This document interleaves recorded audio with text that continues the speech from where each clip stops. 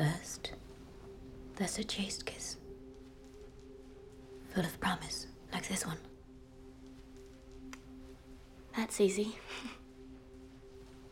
Then, there's the kiss of pleasure, which begins to promise. You know them all. All of them, and many more. Any woman must. Show.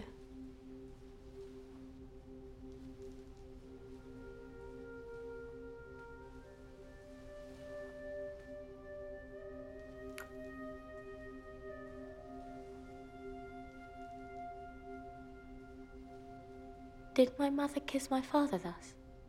I would hazard you did. And you? Do you kiss him thus now?